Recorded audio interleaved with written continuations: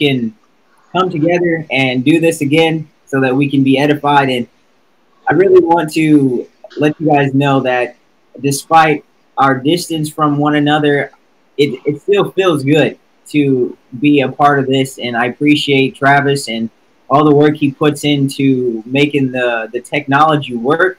Uh, everyone should definitely shake his hand and give him a pat on the back because you know through this whole process, it's it's been a challenge to make sure that we can still encourage one another, meet with one another, but due to uh, God giving him wisdom in this regard, we've been able to do things like this. So today we're going to talk about restoration because uh, restoration is a, a, an important idea. It's an idea that we can see through the Old Testament.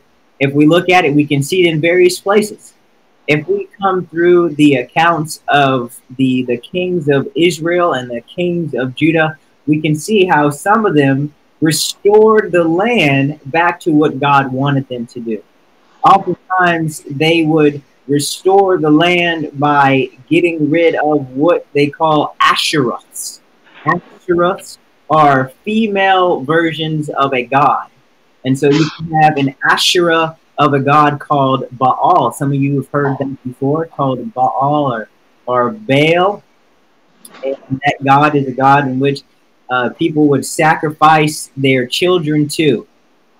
A female version or a wife version of, of that god and the, the kings would come into the land once God has has given them the, the power and the knowledge or the motivation, and they would just wipe away the temples, they would wipe away the altars, so that there would be restoration of the land and bringing the people back to what God wanted them to be. And, and in, light of this idea of restoration, I wanted to have one of our, our very own come and give us a little bit of a talk about this idea of restoration um, from a physical perspective. As you can see on on the television there, there is a vehicle. Now, unfortunately, there there was another vehicle that also was a, an older vehicle and it somehow got covered up with this map. But there's supposed to be two vehicles, one being an older version of the new one you see here. But I, I have no doubt that uh, our brother is going to come up and give you guys a really good idea of what this restoration is here in a moment. So, without further ado, Brother Bill, if you would come up before us and talk to us about restoration.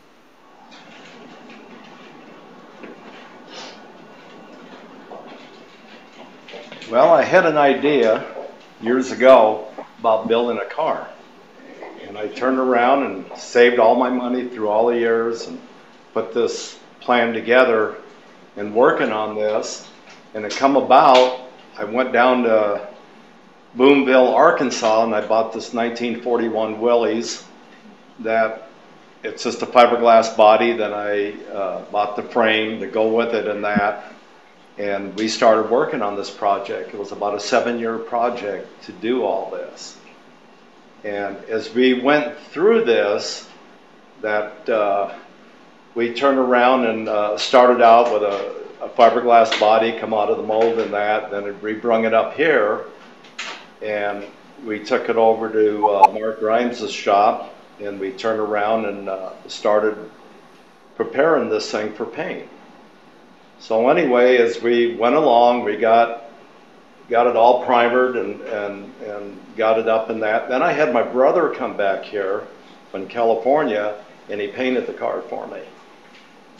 And as I'm seeing this project going to putting putting together in that, it, it really got exciting, interesting, and to see this thing actually happen. Then in, then in the next picture over there, you see me sitting in it, and what they were doing is measuring me for my steering wheel and putting all the gauges. I had a guy had to cut all the stuff out for me in that.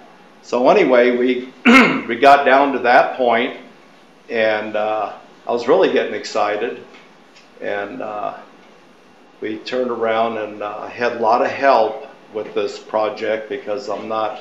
This is the first project I ever done. I'm not new to the world of rod and custom and that because my brother does that kind of work when he was alive. So anyway, I learned a lot going through this and that. And as you can see, we got the engine in it and tires, wheels, frame, and all that kind of good stuff. And and and and as more as you get along with this thing, it's just wow, this is you know you can't sleep at night. You want to get back on this project and get it going and that. So anyway, we got everything done, painted, got the motor, the tranny, the rear end, tires, brakes, and I had to take the frame and had it powder coated. Then I had to put this whole thing back together. And I've never done that in my life. I rebuilt motors and stuff like that, or trannies and that. I'm pretty knowledge, knowledgeable about that. But to do a project like this, it's just totally incredible in that. So anyway, it comes on down to the final where I got it home. It went to many car shows. It's won everything that I can totally imagine. And I was just, wow, this is this is unbelievable. Jerry knows about the car. He's been around it. And uh, but anyway, I end up selling the car and had it for about 14 years, I believe. We sold the car, built another project. I started another project. But anyway, when you really get down to the whole thing is, when I look at this car, I look at my life. And and as, that car is about as perfect that you can imagine by winning trophies, plaques, and all that kind of good stuff. But I want my life to to turn around and be this way. I want to have as shiny and how that outside. I want my life to be that way, so people can see that being a Christian it is a great life, and, and you can't go wrong. And and the bottom line is we got hope for heaven someday. That's the whole goal in that. So that's sort of my little story in that, and uh, like I say, Jerry knows a lot about it and that, and uh, I'm pretty been pretty fortunate to build two dream cars. But without God's help, I couldn't do anything. you know, it's the way it is and that. But anyway, that's sort of my little story. And uh, I feel very thankful that I'm sitting up here right now, you know, turning around and talking to you and that. And I hope you get something out of this. But the main goal is, is heaven. That's my main goal. So. Lessons yours. All right. Thank you. Thank you. so, I, that is a very good illustration, everyone, of uh, what it means to have restoration of something. Because it definitely takes work. It takes uh, taking what we see as uh, maybe beaten down and rusted and, and, and not operating appropriately, and then taking whatever's there and gutting it out and, and removing things and being uncertain about some things and, and just moving forward with that with that process.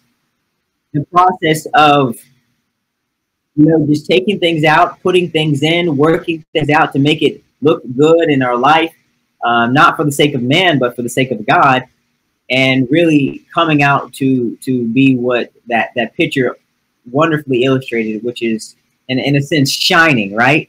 Uh, shining for God. We uh, we can definitely be lights in our walk with God as long as we work to re make restorations in our life.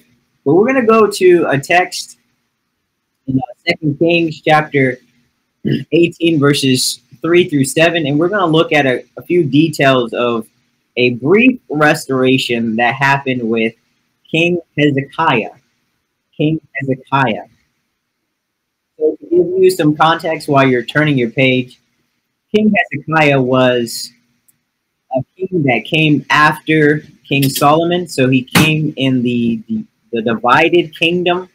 And what that means is a kingdom that was uh, present after and before they went into Babylonian captivity. So that gives you a little bit of context of where the time frame is at. Let's look at the text, uh, 2 Kings chapter 18, verses 3 through 7. Verse 3, it reads, He did right in the sight of the Lord, according to all that his father David had done. He removed the high places and broke down the sacred pillars and cut down the Asherah. He also broke in pieces the bronze serpent that Moses had made for until those days the sons of Israel burned incense to it. It was called the Nehushtan. Okay? So now we have the beginning stages of, of a restoration process. Now, I know that I'm making a spiritual application to this text. This, this text does not necessarily deal with us today, but like the, the, the Bible says that we can use the Old Testament text to teach us things, to give us examples of things. And so notice in this process of restoration that he had to get rid of things. He had to break down things. He had to destroy things. And sometimes we have to do that too, don't we? It says in, in the book of Matthew, most of us know this, that that when we have sin in our lives, if we have to chop off our hand, we have to pluck out our eye. It is better that we do that and to enter into where we need to go, heaven, lame, than to go into hell with our full body. And sometimes we have to look into our life and see if there is some type of idol, some type of place or something that we are worshiping. Now, I know that there's a, at least in my life and perhaps in other people's lives, there's a disconnect there's a disconnect between what is an idol. I mean, we look at the text and what do we see? We see physical things. We see an Asherah. We see the bronze serpent that they made and they put incense on, which was wrong. Now, for those of you that don't know what this is, the bronze serpent, the bronze serpent was at, in the beginning, it was something that God commanded Moses to do.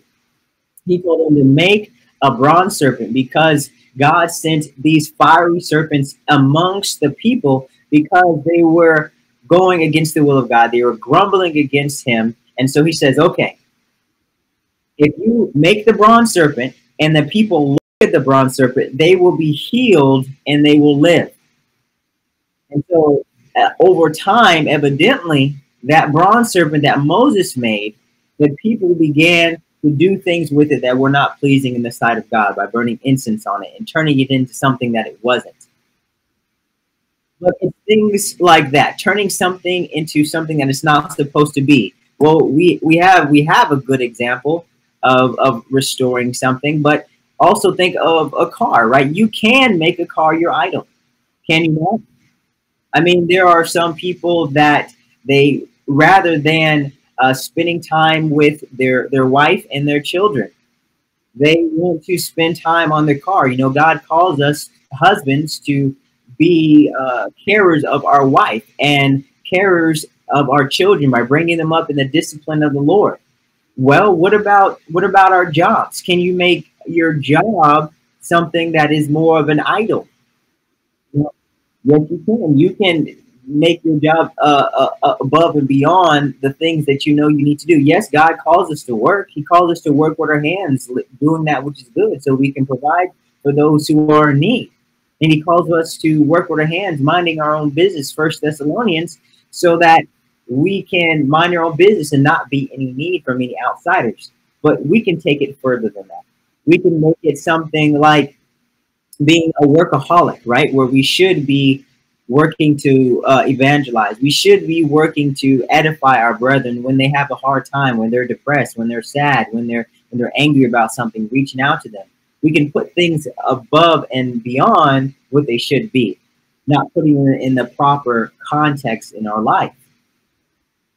But in addition to that, there's a passage in Ephesians, uh, Ephesians chapter 5, that talks about uh, what idolatry amounts to idolatry amounts to covetousness. Covetousness is really wanting things that are forbidden by God. Now, you may not find that definition uh, in in your in your lexicons or, or, or in other words, a dictionary of sorts, but that's the contextual definitions that I see. And so you'll find that coveting, covetousness is wanting something that is forbidden by God. Now, here's here's a good example. Saying, I have a wife. Okay? I'm married. I just got married uh, recently, a little little less than a year. Now, I'm allowed to have my wife. Okay, I'm being real with you guys. I'm allowed to have my wife. God says I'm allowed to have her. But can I desire another woman? No, that's not appropriate. That is forbidden in the sight of God. I'm allowed to have other things, right? I'm allowed to have my my apartment, my my car, my whatever the case may be. But then, am I allowed to desire the the things that belong to someone else? No, I'm not. And so, you just got to put things in the right frame of thinking when it comes to uh, uh, covetousness and idolatry and doing the will of God, so that we can know. And I'll even say this: I don't know if there's uh, many many people here, but I know that when I was going through Bear Valley, there was a number of people that were gamers, right? I'm, i used to be a gamer when I was growing up. Used to play uh, fighting games, and that was my thing. I used to play till my thumbs would get blisters on them. In fact, and I would keep playing. I'd get all the cheat codes, and I'd be really excited about about the game and I, and I, dedicated myself to that for a long time. But then uh, the question is, can that become more of an idol? Not putting it in its proper context. I'm not saying gaming's wrong. That's not what I'm saying. I'm saying that you can make it your your refuge. You can make it your uh, your comfort zone in which, rather than going to God as your the, the God of our comfort and, and going to Him to answer your your your struggles in life, you go to this game or you go to uh, whatever the case may be, putting it in the place of God. So putting things in their proper framework is very important. In addition, we see another aspect of um, restoration, but let's let's ask yourself something. I want you to just think with me uh, about these statements when I am happy, the first thing I think to do is what? The thing that brings me the most comfort, I am sad, that helps me get through is what? Every day, I spend the most time? I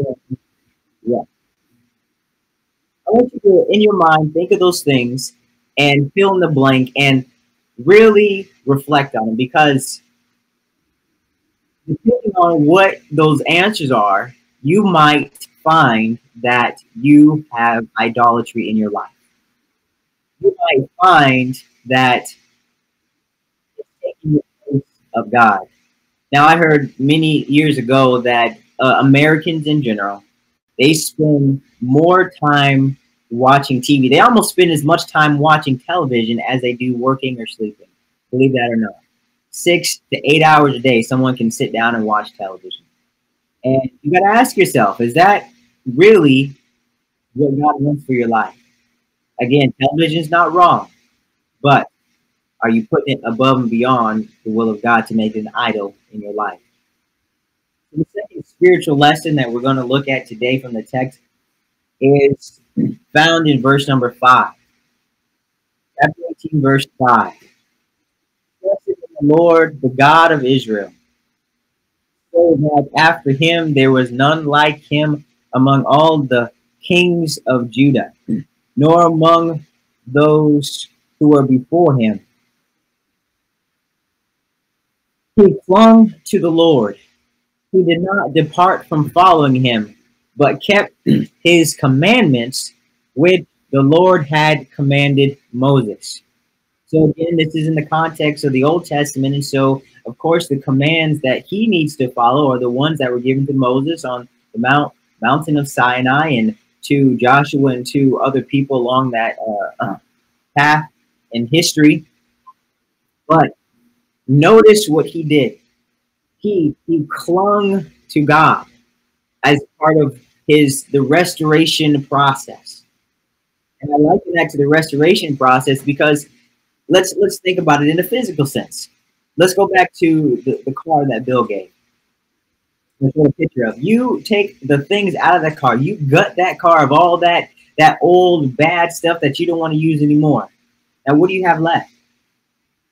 You have really nothing left but the frame of that car, the, the essence of that car. And so if you take the stuff out of your life. You get rid of that television. You get rid of something. You cut off your hand. You do the drastic thing. You get rid of that that computer. Say if you're dealing with a pornography issue, if you're dealing with a, a shopping addiction, if you're dealing with making your wife think about this.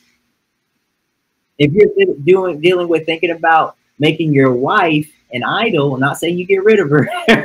Understand that, but sometimes you got to do things a little bit drastic.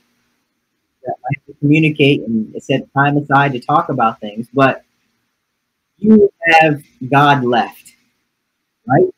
You get rid of that which is bad, and you have God left. He was always there, but now you see him clearly because you've gotten rid of some things, and you start to cling to him. You start to draw near to him and closer to him so that you can start building that relationship that you need to have. Just like Hezekiah did, he clung to him and, and held fast to his, his commandments. And just grab onto it so that you can you can start to grow a new relationship. Now there's definitely this this contrast between running to the idols and, and running to God. God calls, calls us all to be one that draw near to him, that learn his will. All these can be found in the passages in, in James. Uh, we can find this in Ephesians. We can see the example of Paul in the Philippians. We can see uh, the Thessalonians. Look at First Thessalonians taking up this example where they they held fast to the word of God, and it was able to help them. The word of God is able to save our souls. But one way that we can also fill our lives with Him is to pray more. Pray without ceasing. Doesn't it say that in the book of First Thessalonians? Uh, and then that's in Philippians. I was about to go to Thessalonians, which was a class that I had a while back. But we are to do that in our lives. And it's a hard thing to do at times, but we are called to do that. God wants our minds. God wants all of our attention.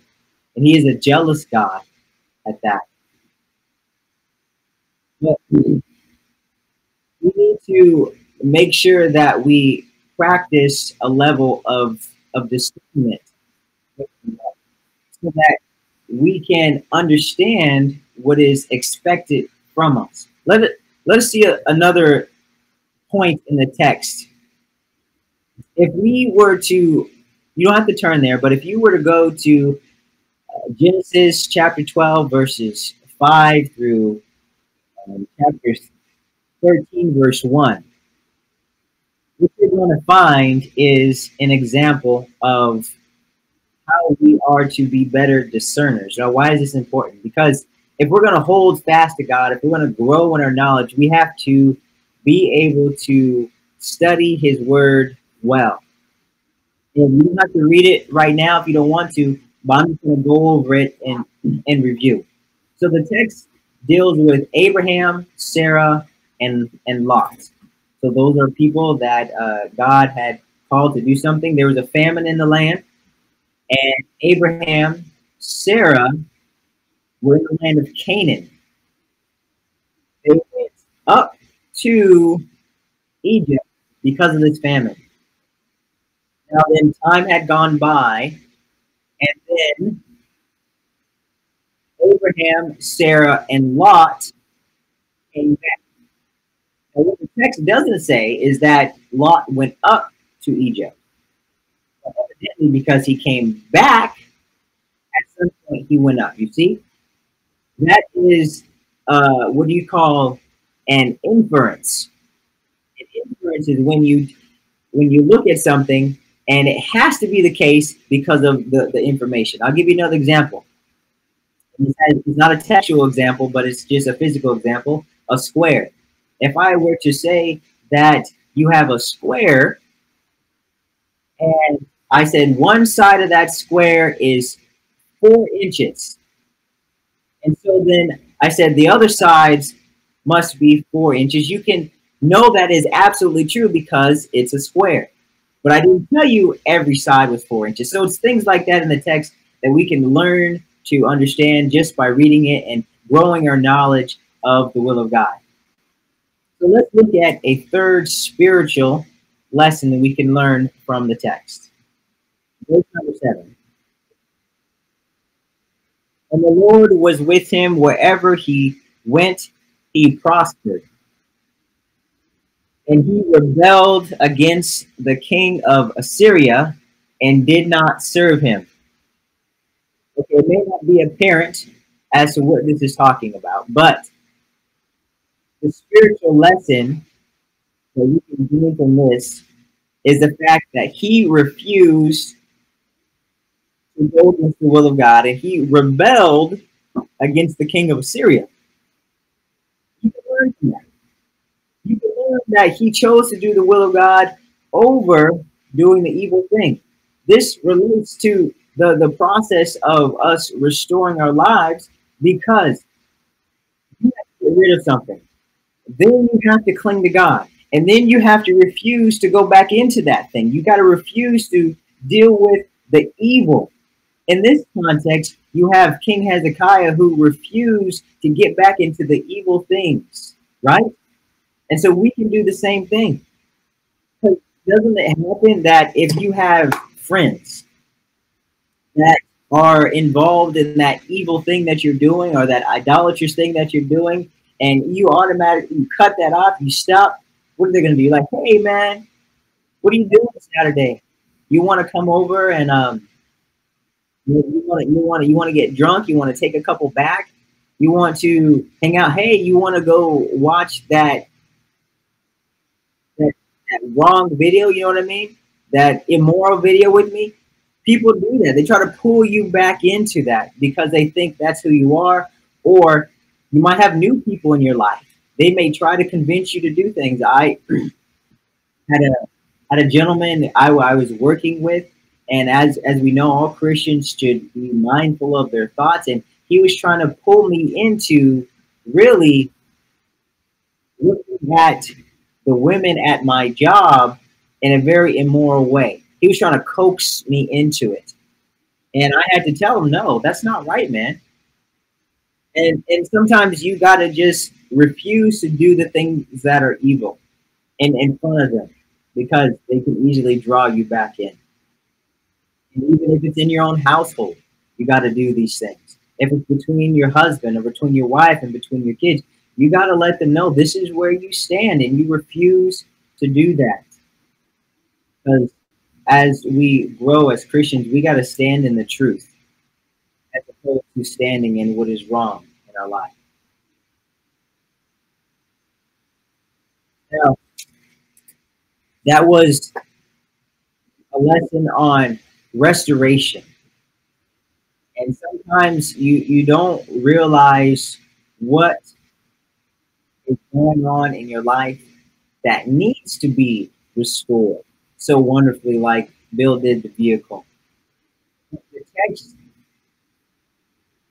tells us if you were to flip to a text like the book of Galatians, let's turn turn with me there.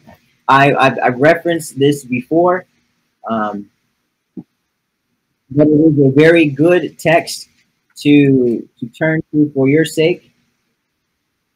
Galatians, about chapter five. verse 17.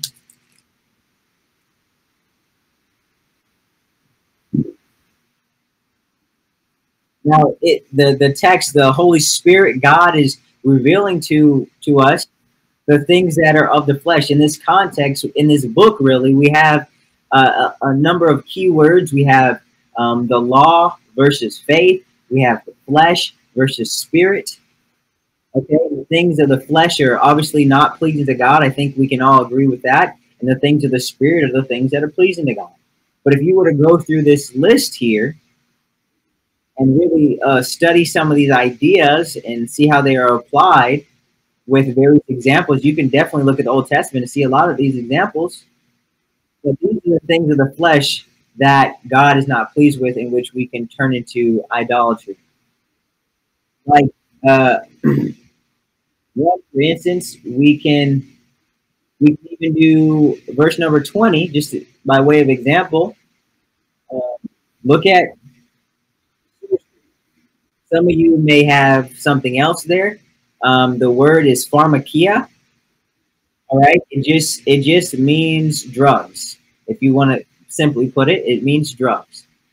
And we know that are there are some that that take drugs in their life and they abuse them. Now, it's the use of the drug. We can have an aspirin. You can have uh, other things, right? But it's the abuse of the drug that becomes a problem and you can make that your your refuge. You can make that the thing that is taking the place of God. There's other things like like uh, factions, you know, causing causing division among your own household. A house divided can't stand. Jesus said that. He was talking in, in context to uh, him casting out the demon, and the people were talking to him about how he is uh, Beelzebub, right? But the, the principle still applies that you, if you have divisions in your house and someone is causing the strife and you lean to that understanding, which is the wisdom of the world, it's going to cause problems in your household. But again, you can go through this and look at what is contrary to the will of God, what is needed uh, in your life to get rid of as part of your restoration process.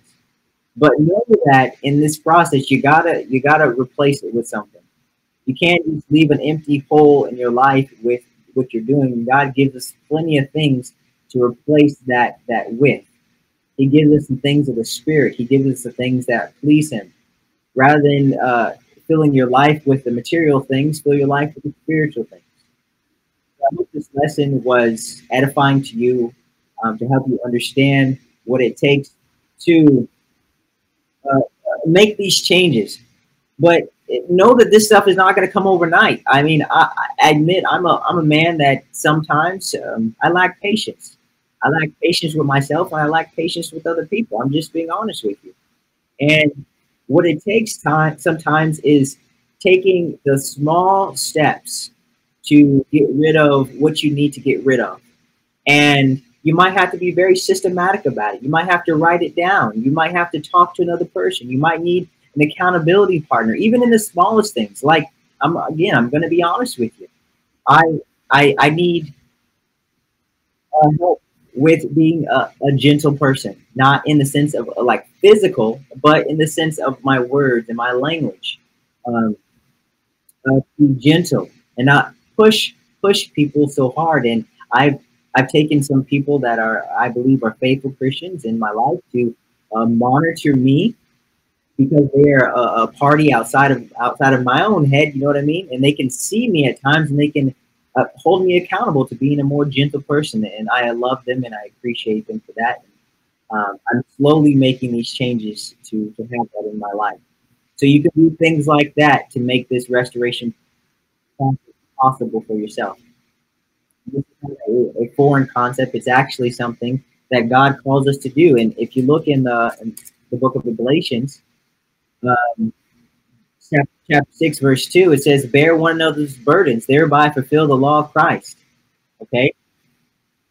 And so we are called to encourage one another, bear each other's burdens, to help each other out. And again, we are we are family, and it's it's good to be here as as a family of believers um, brethren, that includes sisters. Don't neglect yourself in that statement. It's just those who think of like minds. And I, it's good to see everyone here. Um, I hope that uh, I can come to you guys soon after everything uh, is done. So, without further ado, if um, we want to stand and sing, let us let us do that now.